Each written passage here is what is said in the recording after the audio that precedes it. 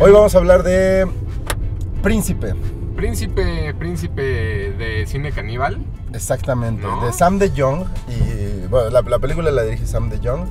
eh, la, la distribuye aquí Cine Caníbal y la produce Vice. Este, este fin de semana eh, íbamos a hablar un poco más de Tortugas Ninja, pero, Pero- decidimos que no. Decidimos que el estreno de esta semana, la verdad es que es Príncipe. Sí, definitivamente. Eh, ¿Qué te pareció, Hugo? Yo, yo ya la había visto y que te insistí mucho en Sí, que de hecho- le cambiáramos. Ajá, no, me parece, me, me parece bastante interesante. Creo que a diferencia de cuando platicamos este, Tangerine, Ujú. La verdad es que esta película me gustó mucho, me sorprendió. Una de las cosas que, que- que me hizo reflexionar mucho fue la manera en la que está hecha la película. Me gusta mucho la dirección, me gustan mucho los encuadres, la fotografía. A pesar de que cuenta una historia no tan...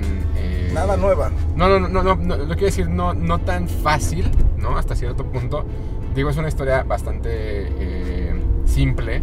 Es un chico de un barrio pobre que De Ámsterdam. de Ámsterdam que le gusta una niña, la va a conquistar, pero es un niño débil, es un niño pobre, es un niño que no tiene nada que ofrecer contra el novio de la niña, que pues es el gángster de la, de la cuadra, por decirlo de alguna manera, Ajá. y que no tiene, no tiene cómo competir contra él.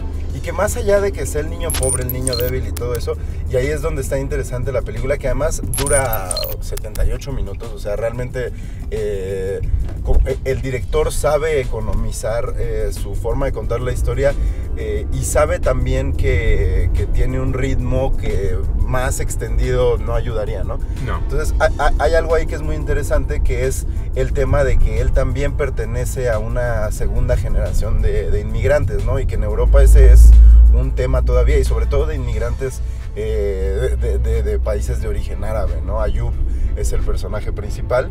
eh, y, y- y- y hay varios, hay varios, la película principalmente me atrevería a decir que es, es un drama pero contado desde la comedia. Sí, no, la verdad es que la película es bastante ligera hasta cierto punto. Tiene una escena bastante estresante, la del cerdo. Sí. Me estresó, fue como de, de- o sea, no ves nada. eh, que es su encuentro con este, como con este mundo bajo de los Exacto. gangsters a los que él quiere pertenecer. Y me recuerda mucho el humor a, a- a lo, pri- a lo primero de Guy Ritchie. O sea, tiene como estos toques de, de- de los personajes siendo cómicos y no tomándolos en serio, pero al final de cuentas la historia es, es- es muy sencilla. Y a lo que iba era de, de decirlo de la historia era que los encuadres y la fotografía es bastante limpia. Yo la vería, la verdad, como un este, guiño a Stand By Me, ¿no? Como esta parte de la, de la amistad, pero de una pero modernizado a, a- a nuestros tiempos. Ah, bueno, que además por ahí también, también hay un tema, ¿no? Está el tema de la amistad y cómo esta amistad también eh, en la adolescencia es tan frágil, ¿no? Y, y cómo esa fragilidad tiene mucho que ver con lo mismo que a él lo motiva eh, durante toda la película, que tiene un poco que ver con la sexualidad. Eh, también su amistad se, se- se ve, se pone en riesgo por un asunto que tiene que ver con la sexualidad Sí, no, y, y- e incluso y digo, su familia. Exacto, la, la mamá está en un punto en el cual, pues el papá es un junkie que ya no, ya no vive con ellos.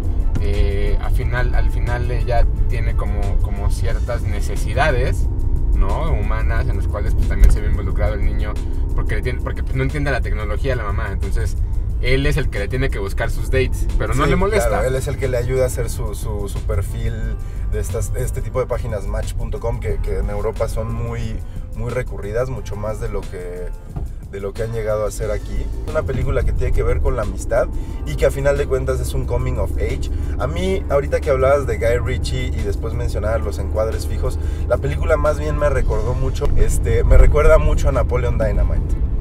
Sí, eh, lo, lo que pasa es que son, son películas muy baratas, ¿no? Creo que al final de cuentas el chiste es, eh, como no tienes el presupuesto para estar días y días y días filmando, tienes que pensar tus movimientos y tienes que pensar tu, película de la manera más eficiente posible. Entonces, cámara fija, corte, corte, corte, corte, fijo. O sea, todo corta y todo pega porque está hecho también de una manera bastante eh, clásica, ¿no? Creo que él, él hace mucho énfasis en los detalles de sus personajes. La historia, como ya bien decíamos, ¿no? Al final es un, es un coming of age, es, es como argumento, no tiene mucha complejidad. Digo, la complejidad viene de la situación socioeconómica de sus personajes y, de su entorno, pero también eso le permite tener a estos, a estos no actores, ¿no? Que, que, él sacó de estar observando eh, todos los días eh, muy cerca de, donde él vive y, ver estos eh, detallitos que tienen en su comportamiento, ¿no? que, que, los hacen muy graciosos, ¿no? Como cómo se rascan, cómo dicen una línea, cómo reaccionan eh, a veces incluso cómo reaccionan eh, con retraso a, lo que dijo un, personaje porque no son actores y que le da una comicidad muy particular a, su, comportamiento.